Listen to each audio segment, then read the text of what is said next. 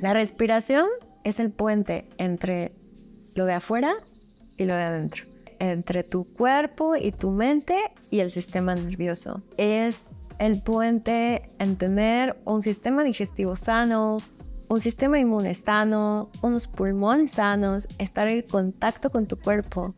Si tú tomas, te juro, cinco respiraciones profundas en un momento de ansiedad y después puedes hacer 15 y después ya puedes entrar un minuto completo de respiraciones o dos o tres o cuatro y ya de repente estás meditando, ¿no? De repente ya estás con más presencia, porque eso es la meditación, presencia.